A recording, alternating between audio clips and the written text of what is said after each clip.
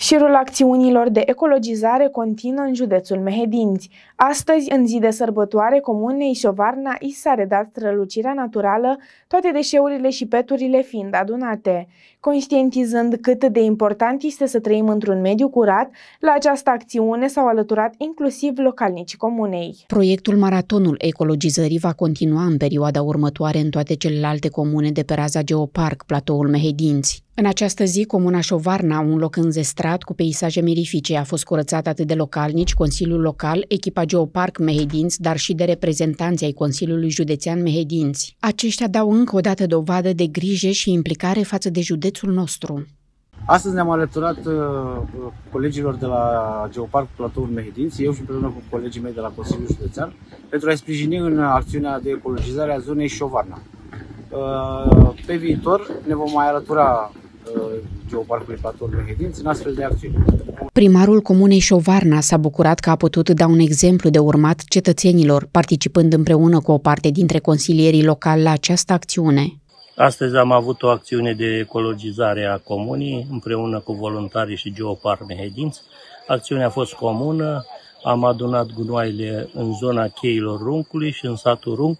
Sperăm ca cetățenii comunii să conștientizeze și să nu mai arunce gunoaile, iar comuna să fie o comună curată pentru sănătatea omenirii și pentru sănătatea noastră a tuturor.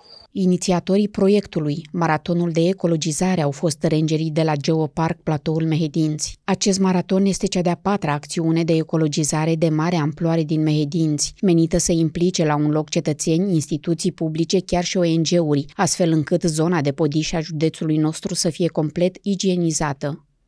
Iată că maratonul ecologizării continuă, chiar dacă astăzi este o sărbătoare importantă pentru calendarul creștin ortodox, este înălțarea Domnului Iisus Hristos, Uh, ne aflăm în comuna Șovarna, o comună cu peisaje mirifice. Uh, suntem pe cheile Runcului.